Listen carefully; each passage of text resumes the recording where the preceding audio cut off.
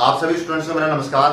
आप सभी स्टूडेंट्स का आपके अपने YouTube चैनल फिजियोलॉजी की करंट अफेयर्स की एंड जीके क्लास में स्वागत है।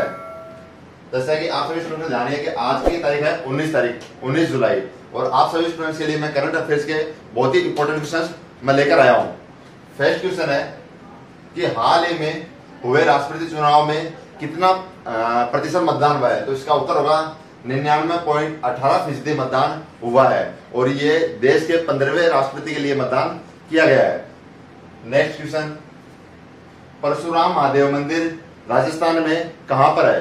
कौन से ज़िले में? है तो इसका उत्तर होगा परशुराम महादेव मंदिर राजस्थान के पाली के सादड़ी में, अरावली की पहाड़ियों में स्थित है। कौन सा परशुराम महादेव मंदिर। नेक्स्ट क्वेश्चन 19 जुलाई 2023 में ऑस्ट्रिया में इंसना में जीव का प्रत्यारोपण पहली बार किया गया था।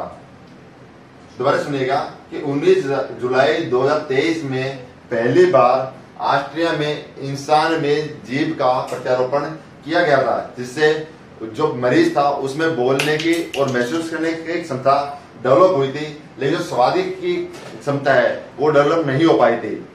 यानी पेशेंट बोलने और महसूस करने लग गया था। लेकिन जो स्वाद है, वो महसूस करने नहीं लगा था। नेक्स्ट क्वेश्चन स्पेन के दक्षिणी इलाके में ओविडो शहर के किनारे की नदी का रंग गहरा, लाल और नारंगी क्यों है? क्यों हुआ था? तो इसका उत्तर है, क्योंकि वहाँ पर अमल और पानी में आयरन की उच्च मात्रा होने के कारण नदी का रंग गहरा, लाल और नारंगी हो गया था। कहा पर स्पेन के दक्षिणी इलाके में ओविडो शहर के किनारे।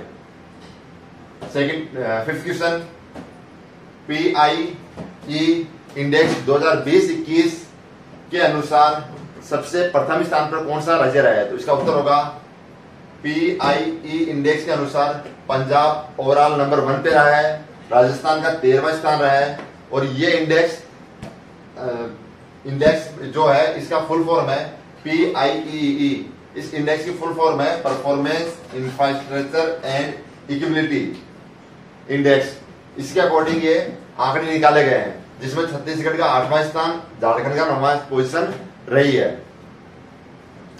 सिक्स क्वेश्चन संबल योजना में क्या परिवर्तन किया गया है? तो वृद्धा संबल योजना में निर्धारित योग्यता वाले निजी अभ्यर्थियों को भी शामिल किया जाएगा। पहले ये चीज़ तो थी कि सेवानिवृत्त शिक्षकों को गेस्ट फैकल्टी के रूप में लगाया जाएगा, लेकिन अब इसके अंदर परिवर्तन करके विधा संबल योजना में निर्धारित योग्यता वाले निजी अभ्यर्थियों को भी शामिल किया गया है। सेवेंथ क्वेश्चन, गुजरात के राजकोट में आजी बाँध के पास अर्बन फॉरेस्ट प्रोजेक्ट को राम, क्या कहा जाता है? तो इसका उत्तर होगा रामवन। और ये क्वेश्चन कुछ इस तरह से भी आ सकता है। कि गुजरात के अंदर रामवन किसे कहा जाता है? तो इसका उत्तर होगा, गुजरात के राजकोट में आंजी बाँध के पास अर्बन फॉरेस्ट प्रोजेक्ट को रामवन कहा जाता है। ये कितने एकड़ में फैला हुआ है? तो इसका उत्तर होगा, सैतालीस एकड़ में फैला हुआ है। और कितनी लागत में इसको बनाया गया है? कितना इसका वित्तीय स्वीकृति मिली थी? तो इसका उत्तर होगा, बारह करोड़ रुपए की वित्तीय पूंजी लगी है। एट क्वेश्चन, हंड्रेड मीटर की महिला पुरुष दोनों इवेंट के अंदर वर्ल्ड चैंपियनशिप में एक ही देश के खिलाड़ियों ने पोडियम फिनिश किया है तो वो कौन सा देश है?